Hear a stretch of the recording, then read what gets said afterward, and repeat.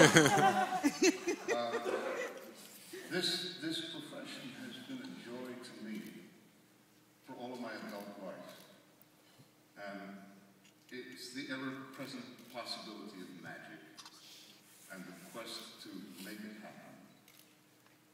And the, the things that we go through to try to do that. And, and I, I started to think about what sustaining is. What is What are we talking about? And, and I think it's about the quest to become a better, better at what we do every time we go out there and improve and learn how to do this wonderful thing better. Um, this award um, tells me that you think I'm a pretty good actor and that you think I've been a pretty good actor for a long time. And, and thank you. for that. The, the truth is really a, a little different. Uh, and I thought I would talk about some of the things that have happened to me in, in this process and that might be especially valuable to some of the younger actors in, in our company and in this house tonight. Um, uh, I was I was very pleased to hear that Cherry Jones makes mistakes too. Um, There's some of the things that I've learned that, that have come uh, rather late in my career, almost shamefully late, because it, you, you- you think, uh, you know, I should I should have learned that 20 years ago. And but I, those those are the good things. Those are the really wonderful things that you go, ah, why didn't I get? Ronnie Dangle once said to me, you don't know her. uh, once said to me that long before uh, I knew what it meant. Uh, we had just done a reading of, of, of a play in a, an agent's office to try to get something going. And I thought I'd been particularly hot that night and really nailed it. And she came up to me afterwards and she said, "You have become a dangerous actor." I had no idea what she meant because I was a very thick-headed young man. That's not just my opinion. Uh, Elliot Norton thought the same thing. Uh, I, I like the sound a lot. So much so that it probably set me back about five years. the next five years being dangerous. But then not too long ago, I heard, I heard an interview with a young woman who had, had worked with the great Duke Ellington. And she had performed one of the old standards for, for Duke, and, and uh, he said, it's great, it's very good, it's good.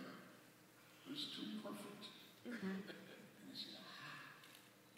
Because if So bold as to uh, uh, interpret what he was saying, was that if you never make mistakes, then you're holding on to your performance too hard, too, too tight, you're not letting it fly.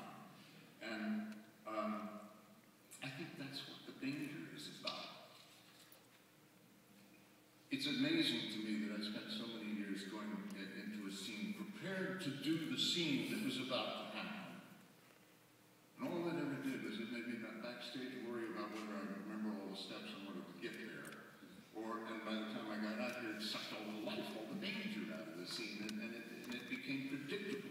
Like moving from one secure handhold to the next with a great uh, uh, dramatic flair, I'm sure. But what's really fascinating in the theater is what we don't know, much more so than what we do know.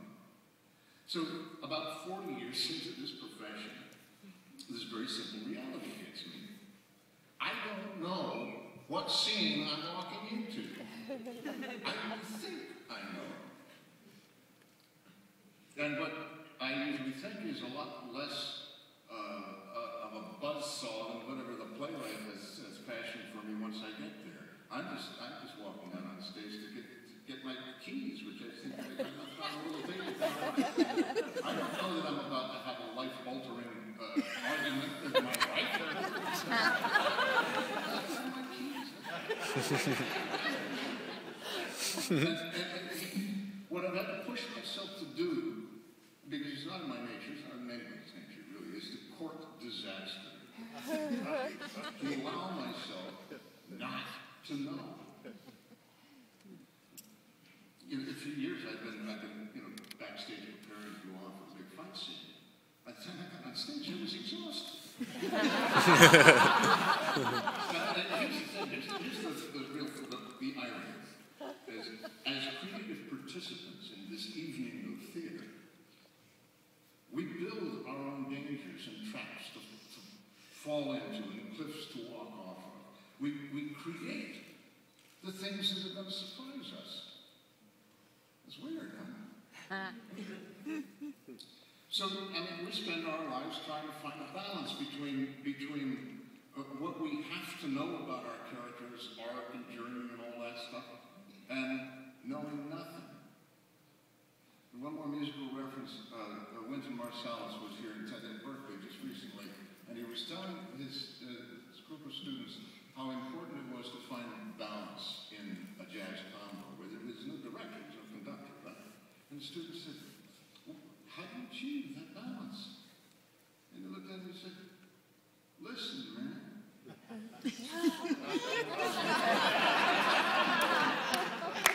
I thought about that, aha.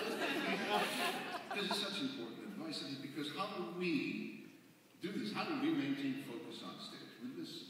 How do we overcome stage fright? We listen. How do we remember our lines? We listen to other people's lines. And how do we stay in the moment? We, we listen. Get the idea. How do we grow? I think we also grow when we listen to each other. And, and what is sustained is that willingness, that never dying willingness to listen in the quest to keep getting better at what we do. As I said before, I will cherish this evening in my heart forever. Thank you. I, now that our flasks are empty and we're looking for somewhere else, Only mine. drinks being poured somewhere, so I, I think it's only appropriate that I finish